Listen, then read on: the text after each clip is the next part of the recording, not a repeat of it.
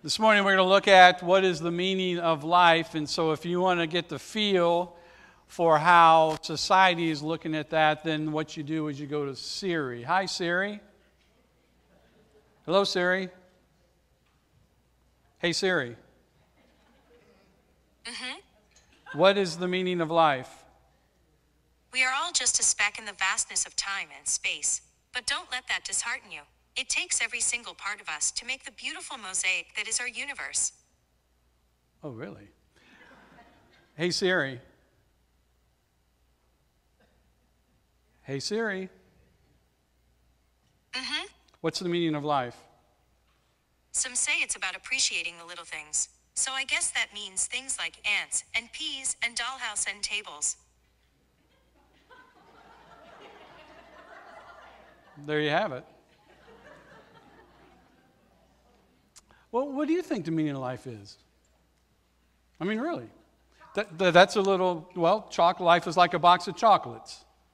So there's salt and, and caramel, or is it caramel, or, you know, the pralines, okay. Um, others say it's, it's happiness, go find happiness. Some say it's what you do. You know, you, you need what you do will define the meaning of life. But, but what is it that really gives life meaning? What's the point of all of this? Why am I here? Why am I here? That's the title, that's the, uh, the week that Kyle and I put on at Camp Mac. We want these little fifth and sixth graders to understand uh, the one life that God has given to them so that they don't blow it and that they come to this knowledge that as they face this one great big world that's out there, that we show them the life is meant to be about God and them. Life is about God and you. Well, welcome to week number two of our series. You are made for this. Now, last week I didn't have a series. And uh, it was week number one now as I look back on it, as I was putting this sermon together. You know, I think I can make a three pack out of this. So last week was You Were Made to Be Like Jesus. Okay, so if you didn't see that, you can look at that on YouTube. Uh, go to our website. This week is You Are Made to Know God. And next week we'll look at You Were Made to Be Strong in the Lord. But this week it's You Were Made uh, to know God. And we're going to look at an interaction between Moses and God about what life is all about. We say, well, that's Old Testament. But we're a New Testament church. Well, Romans chapter 15 and verse 4 tells us this For everything that was written in the past, referring to the Old Testament, was written to teach us, so that through the endurance taught in the scriptures and the encouragement they provide, we might have hope. That's why we look at the Old Testament. To take some of the principles that we see in the New Testament, to see it lived out then in the Old Testament. We got a great example of that today with looking at God and Moses. You know, on the first morning of boot camp, the platoon was dragged out of bed by the drill sergeant, made to go outside, and as is typical, uh, this is their job in a sense to instill fear then into the recruits. And so he lined the soldiers up out there first thing in the morning, he snarled at them. He said, My name is Sergeant Jackson. Does anyone here think that they can whip me? Surprisingly, a hand went up. okay, so we walked over this guy, six foot three, 280 pounds. So you think you could whip me, soldier? Yes, sir, I do. Sergeant grabbed him by the arm, took him to the front of the other recruits. Men, this is my new assistant. Now, is there anyone here who thinks he can whip both of us? Well, one of the major lessons that we learn from scriptures is that God is the biggest. He is the most powerful in the universe. And with uh, Him standing by your side, there's no one that can whip you. That's what Israel had been learning. well, that's what God was wanting to teach Israel, okay? These last three months, as He has been in their presence. For three months now, they had followed God. You know the story out of slavery in Egypt, doing all the plagues, all the miracles there. They went through the Red Sea uh, as the army of uh, Pharaoh went through, they were all destroyed when the sea collapsed back on them. They followed his pillar of cloud by day and his pillar of fire by night as, they, as he led them to Mount Sinai. And there at the Mount of God, they'd seen his power and majesty. Fire had come on the mountain.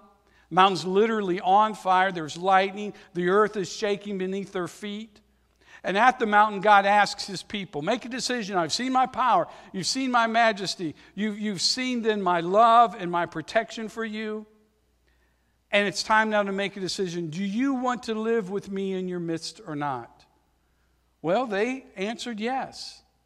And what we'll soon see is that the people decided to rethink that decision. They were suffering from what we call today buyer's remorse. Frankly, they were tired of following a God that they could not see. They were tired of following a God without knowing exactly where He was taking them. They wanted a God that would do things the way they want to do things. They wanted a God that they could be comfortable with. They wanted a God that would that they could fashion to their way of thinking. Do you remember the first two of the Ten Commandments that God will give Moses and that he'll bring to the people? Let me refresh your mind. Look at Exodus chapter 20 and verse 3. Here's the first one You shall have no other gods before me. No other gods before me. That's the first commandment. Verse 4 tells us, number two, you shall not make yourself an image in the form of anything in heaven above, or on the earth beneath, or in the waters below. You shall not bow down to them or worship them, for I, the Lord your God, am a jealous, am a jealous God. Now, it doesn't even take 40 days. Moses had come down off the mountain earlier, told them what God was requiring as he would make a covenant with them and they with him. Moses goes back up on the mountain now. It's 40 days now. And he's a, Moses is about to come down off the mountain. He's got the tablets of stone with the Ten Commandments on it, inscribed by the very finger of God. And, and, and they, they, they can't even last that long. They can't last 40 days. They, they made a God of their own liking. They took some of the jewelry. Remember, they had plundered the Egyptians, not even asking for it, as they were getting ready to leave the Egyptians. God predisposed them to give them gold and silver and said, just said, get out of here. Go, go, get, take, take this and go. And so they, they, they took the earrings and they put them on. They took all the bracelets and away the, uh, the Israelites went. And so they took some of those and they melted it down. They fashioned it into a calf. And guess what they called it? They called the calf the Lord. And they bowed down and they worshiped it. Now, you can imagine uh, neither God nor Moses is really excited about this development. Moses comes down from the mountain, hears the people engaging in this pagan worship. They're, they're dancing there. Uh, they're not sure if this Moses guy, we don't even know if the guy's alive, they say. Who knows? Who knows where this guy is? And the mountain's on fire. Aaron melts these, uh, the jewelry down, makes this God, he molds his calf, and he said, Here's your God. And away they went. God is angry. Moses is infuriated. And Moses takes the tablets of God's law now that had the finger of God written on it, and he throws it down there at the ground and, and, and just dashes it to pieces. Then he goes down, he grinds up then the golden calf. He then puts it in their water and makes them drink it. He rebukes Aaron then, who made the calf for the people at their request, and deals harshly then with all the people who refuse to repent of this abomination before God. Moses then goes back up on the mountain. Exodus 32 and verse 31 tells us So Moses went back to the Lord and said, Oh, what a great sin these people have committed. They have made themselves gods of gold. But now please forgive their sin. But if not, then blot me out of the book you have written. Oh, for leaders like that today. Caring for the people so much. They, he said, Don't do it, do it to me. Lord replied to Moses, Whoever has sinned against me, I will blot out of my book. Now go, lead the people to the place I spoke of, and my angel will go before you. However, when the time comes for me to punish, I will punish them for their sin. This just uh, just speaks against critical race theory on a side note. One of the basis of critical race theory is that people should be punished for the sin of their forefathers. And so, a Christian, as a Christian, you can't, you can't support critical race theory. That's a premise.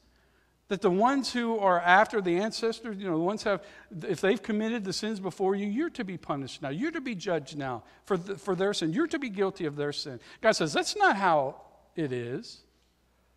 Exodus verse 33 now. Well, excuse me, verse 35. And the Lord struck the people with a plague because of what they did with the calf Aaron had made. Now we go on to the next Exodus 33 and verse 1. Then the Lord said to Moses, leave this place, you and the people you brought up out of Egypt, and go to the land I promised on oath to Abraham and Isaac and Jacob, saying, I will give it to your descendants.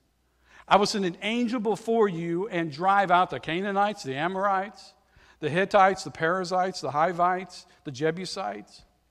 Go up to the land flowing with milk and honey, but I will not go with you because you are a stiff necked people, and I might destroy you on the way. I'm sending you. I, am going to be faithful to my promise I made to the, to the patriarchs, to your forefathers, and I'm going to send an angel before you, and I'm going to drive out your enemies in the land. It's going to be your land, it's going to be yours. But I'm not going with you. If I go with you, you wouldn't make it there, God says. Well, why? Well, anybody had a mom or a dad that said, I, you got them to the point they were so they were boiling, they said, I brought you in this world, I'll take you out. Right? Kyle and I, you know, uh, I'll speak for me. When we do the fifth and sixth graders, I mean, you know, they talked about, hey, Dave, would you help out uh, in, in the junior high week? I'm like, no. I don't know that we'd all make it through that week. I just, I just don't. I, I, it's probably going to be me, but I don't, I don't know. But God says, go from here. But I will not go with you because you are stiff necked people. I might destroy you on the way. So Moses comes down off the mountain. And there is this discussion then as he meets with the Lord in the tent of meeting. Verse 14 begins the Lord replying, My presence will go with you, and I will give you rest. He's telling Moses, I'm not going with them, but I will go with you. Not with them, but with you. Verse 15, then Moses said to him, If your presence does not go with us, what a leader. Do not send us up from here. How will anyone know what you are ple- that you are pleased with me and with our people, your people, unless you go with us? What else will distinguish me and your people from all the other people on the face of the earth? God's saying, I'm going to give you the land. I'm going to send an angel. I'm not going to go with you. But Moses says, If your presence does not go with us, do not send us then. Thanks for all the stuff. But without you, stuff doesn't have, it's worth, it isn't worth anything. Without you, that's not living. If your presence does not go with us, do not send us. Moses understands possessions don't equal meaning. Possessions don't equal meaning. Moses is saying, life is not about possessions, life is all about you, God. Now remember, when two brothers came to Jesus one time, and they said, Would you settle this dispute between us about our inheritance? And Jesus said this, Luke chapter 12 records it Watch out. Be on your guard against all kinds of greed. Life does not consist in an abundance of possessions. He goes on to say, For the pagan world, they run after such things. And your Father knows that you need them, but seek His kingdom, and these things will be given to you as well. He sums his teaching up by saying this For where your treasure is, there your heart will be also. If your heart is with your possessions, it, it, that's where it's going to be. It's not going to be with me, God is saying. If your heart is with me, don't worry about it. I'll take care of you. Moses saying, Without you, God, we don't have anything. God, we need your glory. God, we need your presence, or we have nothing. H- have you discovered that yet? Have you discovered that yet? Moses understood that in the very center, in the heart of every human being is this nagging, this gnawing need to have God right in the very center of your life.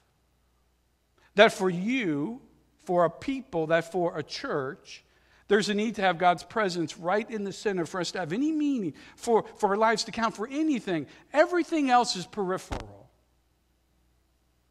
Jeremiah the prophet, God gives this message at, at another day, at another time. And so through Jeremiah, he says this in Jeremiah 9. This is what the Lord says. So it's the Lord speaking again through Jeremiah.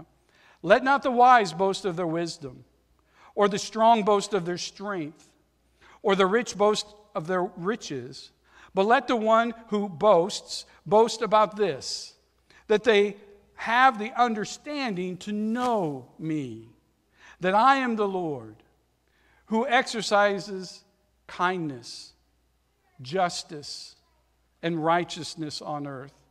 For in these I delight, declares the Lord. Life is to know me, God says. Life is about knowing God, a growing understanding, a growing relationship with the living God. Back to Exodus 33 and verse 17, and the Lord said to Moses, I will do the very thing you have asked because I'm pleased with you and I know you by name. Now, how cool is that? To have the Lord God know you by name. Moses would say, not as cool as Jesus saying that he's the good shepherd and that you are his sheep and he knows you by name. He calls you by name and he leads you. More than that, when you came into the family of God, God put his spirit, his presence within you. Moses, when Moses got to heaven, that must have freaked him out. He's dealing with God's presence in so many different ways. And yet, uh, if you would come to, a, to an understanding of your sin and you would accept His gift God has given in Jesus, that His Spirit would come and live within you after your sins are forgiven? Verse 18 Then Moses said, Now show me your glory. Show me your glory. And the Lord said, I will cause my goodness. Everybody say goodness. I'll cause my goodness to pass in front of you. And I will proclaim my name, the Lord. What's the name of that golden calf? What they? The Lord. I will, I will declare my name, I'll proclaim my name, Lord, in your presence. Now, notice this Moses says, Show me your glory. God says, I will cause my goodness to pass in front of you. My goodness, God says, the unfolding of my glory is my goodness. The unfolding of my glory is my goodness. See, people want, they, they want to experience the glory. They want the glory of God to fall on them. They want to have this experience, this feeling. God says, yeah, that would, that would happen, yes. But more than that, more important than that, my, my glory is my goodness. One time Jesus was called good teacher. He's approached. Remember that time? Good teacher. And in Mark 10 it tells us Jesus said, Why do you call me good? Well, he knew, right? It was, it was appropriate. Jesus said, No one is good except God alone because God is good. That's who He is. That's a definition of who He is. And, and, and God is saying here, That's my glory. My glory is my goodness.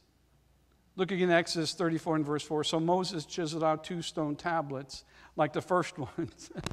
Moses, you just don't go throwing my, my, my, my finger, my, my Ten Commandments, you know, you just don't go throwing that because you're mad. You find some, some tablets, you chisel them back out. Yes, Lord. and Moses went, did you, did you catch that before? So he chisels them out. He goes back up on the mountain holding them. He carries his two stone tablets in his hands. And then the Lord came down in the cloud and stood there with him and proclaimed his name, the Lord. And he passed in front of Moses, proclaiming, The Lord, the Lord, the compassionate and gracious God slow to anger, abounding in love and faithfulness, maintaining love to thousands. So he says, The Lord, the Lord, the compassionate and gracious God. I don't give people what they deserve, I give mercy. More than that, not only do I give mercy, I give them what they do not deserve, and that's grace. I'm a gracious God. I'm slow to anger. I'm abounding in love and faithfulness. Moses says, Show me your glory. And God responds by saying, Let me tell you who I am. Let me tell you who I am. Goes on to say in verse 7 God says, Friend, and forgiving wickedness and rebellion and sin, yet he does not leave the guilty unpunished. Punishment has to be uh, given out. But God, in a sense, has a dilemma. How does he do that? He says, I'm good and I'm just, and so I need to fulfill my justice, and so I will pay for your sins. Who paid for your sins? Who paid for your sins? He did, right? In Jesus. Jesus leaves heaven, comes down to earth, he dies then, he rises from the dead, and then offers the gift if you accept it. And if you accept it, then God forgives your sin. Look now at verse 8 Moses bowed to the ground at once and he worshiped. Let me give you a glimpse of what's going, going on in heaven right now. What's to come in heaven. what, what, what's going on right now. I mean, on God's timetable, Jesus has done his work of salvation. It's years later. In earth years, we're about 2,000 years later. Look at what they're still doing around the throne right now and for ages to come. Revelations 5. Then I looked, John writes, and I heard the voice of many angels, numbering thousands upon thousands and 10,000 times 10,000. And they encircled the throne and the living creatures and the, and the elders. And in a loud voice they were saying, Worthy is the Lamb who was slain you see, the angels have not moved past Jesus dying for your sins. They've not moved past, for God so loved the world that he gave his one and only Son. The angels are like, I can't believe this. Have you seen this? Are you kidding me? What a God. And they worship, they worship this one. Worthy is the Lamb who was slain to receive power and wealth and wisdom and strength and honor and glory and praise. And then I heard every creature in heaven, John writes, and on earth and under the earth and on the sea and all that is in them saying, To him who sits on the throne and to the Lamb be praise and honor and glory and power forever and ever. All of heaven never tires of looking into what God in his glory has done for you and me that while you were still a sinner, Christ died for you. This grace of God will never stop amazing us as we look onto God for all of eternity. And God wants to show you His glory, He wants to unfold His glory for you. So, how do we get this understanding to know me that God talks about? That I am the Lord, the who exercises kindness and justice and righteousness on earth? How do we get glimpses of God's goodness to pass in front of us? and to hear the Lord, the Lord, the compassionate and gracious God, slow to anger, abounding in love and faithfulness, maintaining love to thousands, and forgiving wickedness and rebellion and sin. How do we catch a glimpse of the glory of God? Well, do what Moses did. Number one, you ask. You ask. Remember, Jesus said, You do not have because you do not ask. So ask. That's what Moses did. Exodus 33 and verse 18 Then Moses said, Now show me your glory, as he was speaking to the Lord. This is, in a sense, what Philip was asking of Jesus. John 14 and verse 8, it says, Philip said, Lord, show us the Father, and that will be enough for us. He wanted to see the glory of God. And Jesus answered, Don't you know me, Philip? Even after I've been among you such a long time, anyone who has seen me has seen the Father. How can you say, Show us the Father? Don't you believe that I am in the Father and that the Father is in me? The words I say to you, I do not speak in my own authority. Rather, is the Father living in me who is doing his work. Jesus says, Look to me, and you'll see the glory of the Father. So ask. Secondly, then Moses positioned himself. So position yourself. Position yourself. Exodus chapter 33, now in verse 19, the Lord said, I will cause all my goodness, everybody say goodness, to pass in front of you, and I will proclaim my name, the Lord, in your presence. I will have mercy on whom I will have mercy. I will have compassion on whom I will have compassion. But he said, You cannot see my face Moses, for no one can see me and live. Verse 21 tells us Then the Lord said, There is a place. There is a place. Everybody say, There is a place. There is a place near me where you may stand on a rock. When my glory passes by, I will put you in the cleft in the rock and cover you with my hand until I have passed by. Then I'll remove my hand and, I, and you will see my back, or literally in the Hebrew, my after. You'll see my after. But my face must not be seen. The Lord said, There is a place near me. I, I would say today, as we're this side of the cross, this side of the empty tomb, this side of the gospel going out from the church, of what God is doing and giving forgiveness of sin and our opportunities to come to know Him, to come to an understanding of the glory of God, that there are places. that there are places. There are places where God's glory is passing by. And when God's glory is passing by these places, you and I need to say, I'm going to be in that place. I'm going to be in that place. You and I need to say, I'm going to position myself in that place. I'm going to position myself to be in His presence, to get to know Him more, to understand Him more and more, to give of myself in worship to Him and of service to Him more. Where I'm experiencing the kindness of God, the justice of God, the righteousness of God on earth, where I'm getting glimpses of God's goodness to pass in front of me, to see and to hear the compassion and the grace of God, who's slow to anger, abounding in love and faithfulness, maintaining love to thousands, forgiving wickedness and rebellion and sin. There are places. Be sure to get there. This is the importance of the first 10 challenge every day.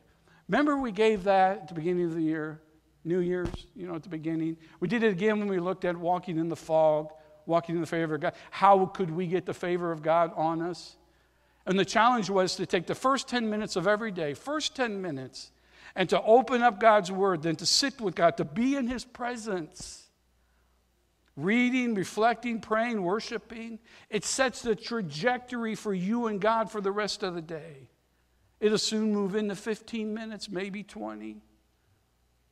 As God's presence passes you by, there is a place. Everybody say there's a place. This is the importance of Sunday morning worship with God's people because God's glory is going to pass by. Position yourself in God's house because you believe God's glory is going to pass by today. In worship, in communion, in the preaching of the word. So be intentional about being here in His presence, not by accident, not by happenstance, not just I happened to get up early today, so I, I, I, went in His Word and I prayed, and, and the glory of God came by. I was in His presence. No, do, do it intentionally each day. Same thing with Sunday morning. I just happen to be there on that Sunday, the God's presence. No, be there, eat, do it intentionally. Make sure you know it's going to happen. But you'll, you, if you don't, it, it can happen when you're here, but if you don't make it every week, you're going to miss so much glory. Are you going to be okay with that? Okay that you missed it? Okay that your spouse missed it? Okay that your kids missed the glory of God passing by? And for what? For what? Look at verse 24. But let the one who boasts boast about this, that they have the understanding to know me, that I am the Lord. Lord is saying there's no greater uh, thing in all of creation than to be about in life, than to know me, to be with me, to be in my presence with my people. There's a place. Everybody say there's a place. This is the importance of intentionally serving God's people, where God can have His goodness, His mercy, His grace flow through you and the Holy Spirit's power in you to bless others here, but then also out there. That every week we give the opportunity maybe to be in the nursery with the little ones. You talk about God's goodness in there. To hold that little one so that mom or dad could be in here That's His goodness. There's a place. Or serving the little older ones to hear their innocent prayers and their why would why would people not like God? Why, why, Lord, thank you for everyone who's come to church today. To hear them and their innocence. To, to see them discover a truth of God. So that's the importance as God's passing by in Sunday school in Kids Zone worship, Sunday night in Hill Climbers, there's a place. To hear the battle our older youth are facing every day in this world, and you helping God show them His goodness toward them and how He wants to go with them in Sunday school, youth group tonight, there's a place. To serve our singles, our couples, uh, to, to, to be and, to serve parents raising their kids, to be with them. Hear, hear the wisdom and the testimony of the older saints as they share how God has been faithful, how God will continue to be faithful to his promises. That's, that's Sunday school. There's a place. There, there's small group. There's a place. There, there's visiting in the hospital, going to the nursing home, going to the shut ins, serving uh, the community, going on a mission trip. There's a place. There are places God wants you to be positioning yourself in so that you can come to know Him, that I am the Lord. One more thing. Look at Exodus 34 and verse 29. When Moses came down now, what is, I mean, you're talking about exercise, up and down, up and down. Now he comes down. From Mount Sinai with the two tablets now, the covenant law in his hands that he chiseled. He was not aware that his face was radiant. Everybody say radiant because he had spoken with the Lord. When Aaron and all the Israelites saw Moses, his face was radiant. They were afraid to come near him. But Moses called out to them. So Aaron and all the leaders of the community, they came back to him and he spoke to them. Afterward, all the Israelites came near him and he gave them all the commands the Lord had given him on Mount Sinai. Verse 33 Now, when Moses finished speaking to them, he put a veil over his face. But whenever he entered the Lord's presence to speak with him, he removed the veil until he came out. When he came out and told the Israelites what had been commanded, they saw his face was radiant. Then Moses would put the veil back over his face until he went in to speak with the Lord the next time. God wants you to be personally affected by your encounter with his glory. More than just being in his presence, more than just coming to a deeper understanding, but to be changed and reflect in his glory. Moses is shining, he's reflecting God's glory, and, it's, and it affects those around him. He's witnessing for God as he's reflecting God's glory. He's exposing people to the glory of God. God wants you to do the same thing. He wants to do that for you and through you today. That you take for Him the light of His glory, that you take it out into darkness, and that they see His light because you reflect the glory of God to them. That's what Jesus did. The prophets summed up his ministry. Look at Matthew 4. The people living in darkness have seen a great light. Of those living in the land of the shadow of death, a light has dawned. That was Jesus' mission, and it's to be your mission too. Jesus says to you, Matthew chapter 5, you are the light of the world. A town built on the hill cannot be hidden. Neither do people light a lamp and put it under a bowl. Instead, they put it on a stand. It gives light to everyone in the house. In the same way, let your light shine before others, that they may see your good deeds and glorify your Father in heaven, that they may see your good deeds and glorify your Father in heaven. So, in your workplace, at school, in your community, on the ball field, God is counting on you. Mom, your kids need to see the glory of God in your life. Dad, your kids need to see the glory of God in your life. And to both of you, they need to see the glory of God in your marriage so that they don't look to the world to see what a marriage is, or if there's even a need for a marriage, or who I can marry. Your kids need to see you serve God's people in this place. They need to see you serve uh, the, the community when you're away from here to reflect the glory of God for His glory. So, how is your life going to reflect? You, you've, you've positioned yourself, you've experienced, and now you're going to go and reflect.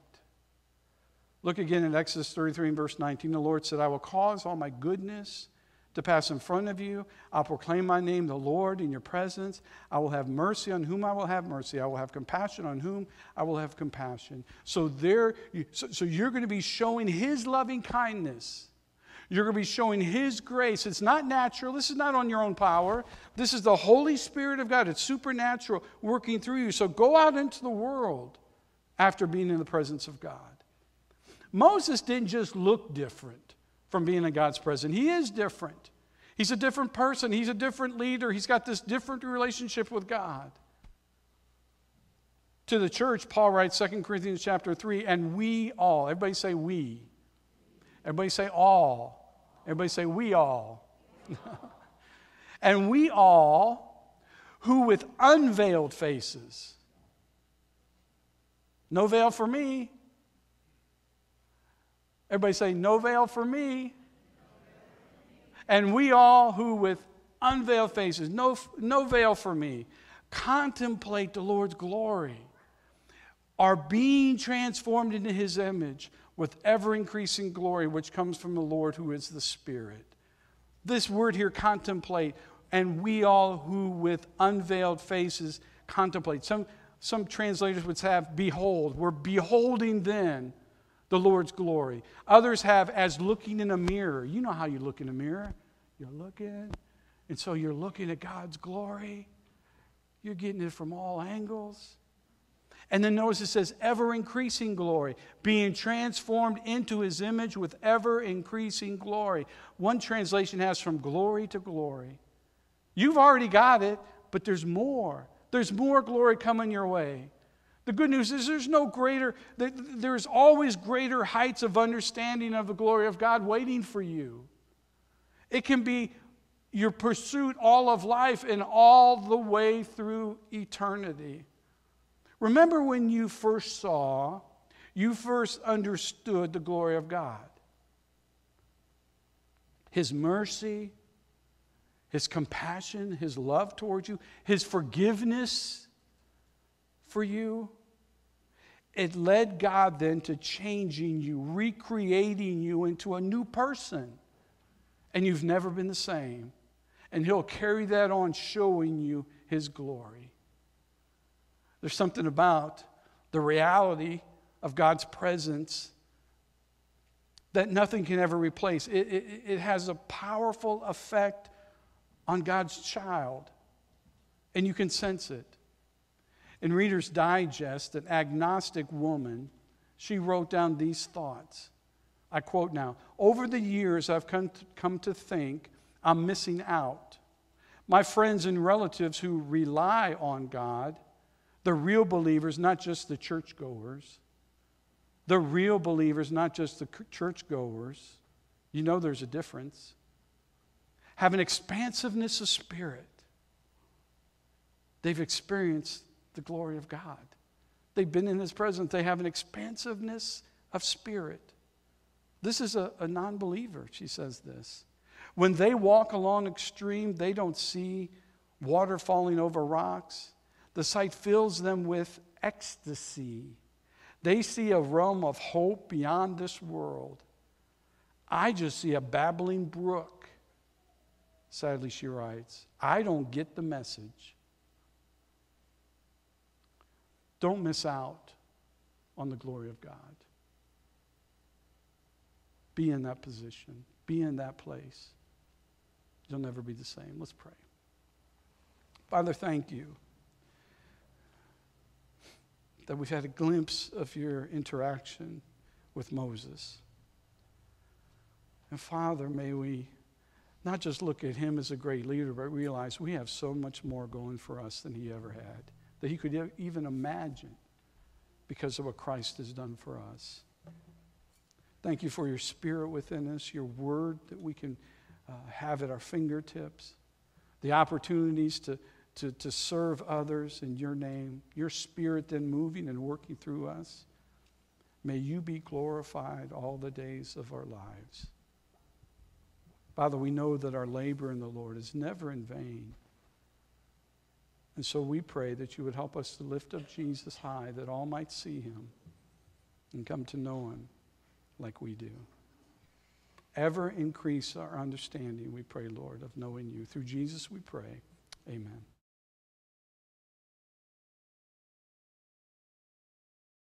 Have you ever had the good fortune to be around someone that just seems to make everyone else around them better? Well, I hope you have, because it's really an uplifting experience. Without question, Jesus, while on earth, was the ultimate inspirational person to all those around. The Gospel of John shares a host of accounts that will prove this statement true.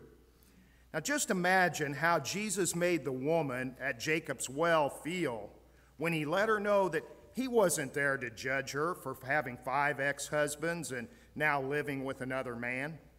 Rather, he was there to offer her a spring of water welling up to eternal life. Or what about the crippled man that was at the pool near the sheep gate of Jerusalem? This invalid had been helpless for the past 38 years. Can you fathom the emotions and, and he experienced when he was able to pick up his mat and walk at Jesus' command? And what about the woman that was about to be stoned because she was caught in the act of adultery? Jesus stated, If any one of you is without sin, let him be the first to throw a stone at her. What a rush of emotions there must have been for both the accusers and the accused after no one was left to condemn her. John goes on to tell us in chapter 21, verse 25 Jesus did many other things as well. If every one of them were written down, I suppose that even the whole world would not have room for the books that would be written. Jesus was surely a source of inspiration for those living 2,000 years ago. Praise God for Jesus coming to earth as a man. Even though the accounts found in God's holy scriptures are awe inspiring, it is always encouraging to experience such situations firsthand. What an arousing experience when one of God's own creations is able to bring out the best in others. No doubt, Brother Dave can do that here with his preaching and sharing of God's Word. And we um, uh, continue to uh, uh, witness the positive impact of the Fab Five Lee, Mark, Tom, Chuck, and Lester as that they are having on our community for Christ by generously donating their labor constructing the youth building program or addition. Personally, God has blessed me with a great friend who continues to have that inspirational effect on me. For nearly 25 years, Dan Martin has faithfully been a source of enthusiastic encouragement and positivity, and not just for me, but for countless others, including many students he has taught and players he has coached. Now, if I know Coach Martin, he'd be the first to humbly say, Teachers and coaches should try to inspire their students and players. It's all part of the job. I would also venture to say that Dan would agree. At times, however, it is the students and players who end up inspiring their teachers and coaches. And this would be true for the current Morrisonville Lincoln Woods Junior High co op softball team. This team has been blessed with a young player who has risen above worldly negativity and discouraging actions and talk and effectively emanates enthusiasm and energy and effort and encouragement to not only her teammates but to her coaches as well. Ella Jenkins might not realize it, but she has a way of making those around her better. Praise God for Christian people, both young and older. In God's great wisdom, He not only provides people who are created in His own image for that day to day encouragement, He also established a time of communion. 20 centuries after walking on this planet, Jesus continues to be the ultimate source of encouragement. Because of his blood that was shed on that cross so many years ago, each of our sins and wrongdoings have been covered. Our debt has been paid. And we are provided with an opportunity of one on one communication with our, our Creator. A time to remember, a time to reflect, a time to appreciate, a time to commit to be more Christ like, a time to be encouraged Praise God for Christ's sacrifice. Praise God for the sources of encouragement He provides in so many ways. Let's go to our Creator right now in prayer. Dear God and Heavenly Father, we thank you so much for your love. We thank you for your guidance. We thank you for being there for us. We know we're broken. We know we uh, do wrong, and we come to you right now, and we ask your forgiveness, and we ask you to continue to shed your grace upon us as we commune here this, this morning and as we carry out this week. In Jesus' name we pray. Amen.